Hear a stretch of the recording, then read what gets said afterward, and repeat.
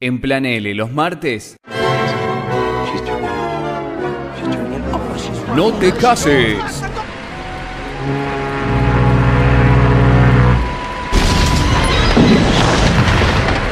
Ni te embarques.